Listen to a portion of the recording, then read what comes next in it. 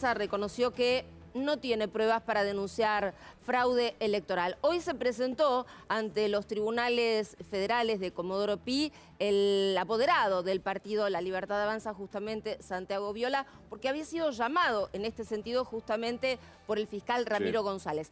A él y a Karina Milei, porque ambos, recordemos, habían presentado un escrito en el que hablaban de un fraude colosal, Claudio, recordamos, ¿no? que habían dicho... en tres mensajes en las redes sociales. Exactamente, que ahora en un ratito vamos a estar recordando cuáles eran. Hablaban de un fraude colosal, supuestamente a partir de cambios en las urnas, en los transportes de gendarmería. El fiscal Ramiro González rápidamente lo llama a declarar Karina Milei no va, no se presenta. El argumento que da es que no pudo llegar porque ella había asistido al acto de cierre en Córdoba de, su hermano, de Javier Milei, pero sí lo hace eh, Santiago Viola y lo que hace es decir, bueno, en realidad nosotros eh, no quisimos decir que era una denuncia. El escrito lo presentamos de manera preventiva para que se, tomen recaudos, es decir, de hablar de denuncia bueno, cambiaron un poco el discurso. El apoderado de la libertad avanza, Santiago Viola, decía esto, a ver.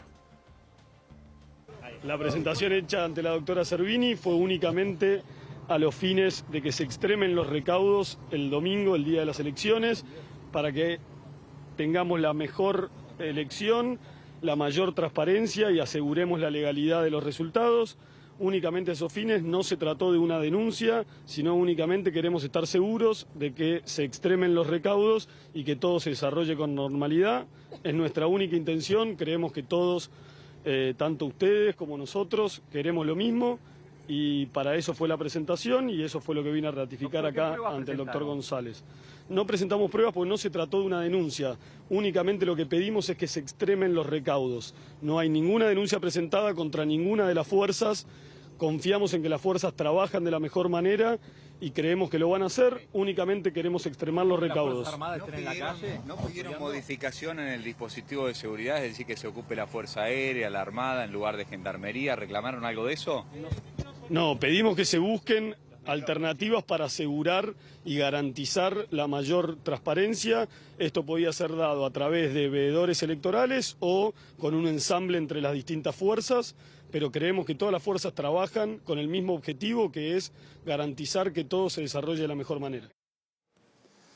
Bien, vamos a hablar ahora de los tres mensajes, digamos, que tomaron en cuenta como para eh, eh, haber denunciado el hecho de que había un fraude colosal en varias provincias del país, ¿no? Sí, porque cuando se les pregunta qué pruebas tienen, dice, bueno, no, pruebas no, nosotros nos basamos en algunos mensajes que circularon a través de las redes sociales, concretamente en este caso hablan de un posteo en la red social X, ex Twitter, de un usuario que tiene el nombre Chespiroto, ¿no? Dice... Hay como un mito de que si cantas fraude sos antidemocrático, pero lo antidemocrático es el fraude no denunciarlo. Eso es uno de los mensajes que presentan como, bueno, se está hablando de fraude. Otro, por ejemplo, eh, en este caso el usuario Archivo General Mesiánico. Santiago del Choreo.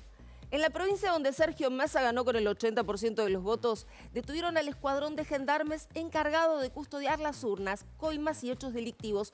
Toda la cúpula de gendarmería involucrada se secuestran 150 millones de dólares. Bien. El siguiente, otro de... A ver. Estamos haciendo, tomando algunos, ¿no? De los que presentaron como supuesta prueba. En realidad, no como prueba, porque ellos mismos dijeron que no había prueba, sino como argumentando, a partir de esto pedimos recaudos. Volvemos a Chespiroto. A cambio de urnas, al cambio de urnas, bien digo, lo hace la Gendarmería. En el conurbano las mueven las ambulancias que son del gremio de Moyano, y no las puede parar la policía. Esto lo hacen el sábado de la noche antes de las elecciones. Lo hicieron ya en 2019. Atención a las ambulancias. Bueno, recordemos, Claudio, que ayer hasta la propia Victoria Villarruel ¿no? Eh, habló sobre este tema. Le preguntaron si ella dudaba del accionar de Gendarmería y en este caso se diferenció absolutamente... Defendió a Gendarmería, en Exactamente, se, distanció concretamente de, la denuncia o de este escrito que había presentado eh, Javier Milei y, Karina Milei. Lo cierto es que la investigación sigue, porque hubo un escrito, entonces el, fiscal Ramiro González tiene la obligación de seguir adelante con la investigación, pero va de suyo que esto se va a caer si no hay, si no hay pruebas eh, al respecto. Bien, el ministro de Seguridad de la Nación, Aníbal Fernández, que ya había argumentado en el día de ayer también que dice es prácticamente imposible porque para hacer una cadena eh, de ese tipo de fraude intervienen tantas personas que no se pondría, si hubiese existido la intención, no se puede mantener el secreto de eso porque son muchas las personas que tendrían que participar para hacer ese, ese fraude. Esto decía el ministro de Seguridad. Pero no cree, Aníbal, que se llega con un manto de duda, que es peligroso. No, acá no hay mantos ni nada, qué manto ni qué pelota. Acá lo que hay eh, es una elección en donde uno llega, le presenta el DNI al presidente de la mesa. Todos comprueban que es exacta la información ofrecida. Se entrega el sobre firmado por todos. Entra uno, pone la boleta, sale, entrega el, sobre adentro de la urna, le entrega el DNI y se va a su casa. Bien, y desde la Cámara Nacional Electoral, Claudio, hicieron una especie de explicación lo más clara y contundente posible para que la gente le quede claro justamente cómo es el sistema de custodia de las urnas, en función de ese famoso escrito que la Libertad Avanza había dicho que denunciaba y ahora dice que no había denunciado. A ver. Si realmente hay un hecho para denunciar, lo que hay que hacer es denunciarlo hay que acompañarlo con la prueba suficiente y no le puede, no le puede caber eh, la menor duda a ningún ciudadano argentino que desde la justicia electoral y desde el Ministerio Público Fiscal, a través de la Fiscalía Federal Electoral, se va a investigar hasta sus últimas consecuencias. Esto siempre ha sucedido de esta manera. La realidad también es que sucede que nunca hemos tenido denuncias de este estilo eh, ante la justicia electoral nacional.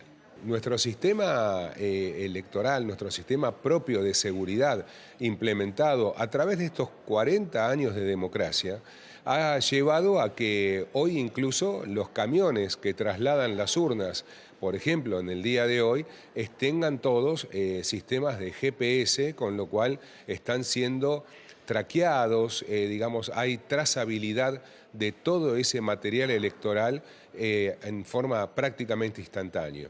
Nuestro sistema electoral, nuestro sistema de control electoral eh, es un sistema de control cruzado, con lo cual tenemos por un lado los fiscales partidarios que en muchos de los tramos de lo que es el proceso, tanto de comicio como de escrutinio, están presentes. En todo momento, y en el fiscal, en el definitivo, también van a tener los fiscales, por supuesto, como han sucedido en todos los actos electorales.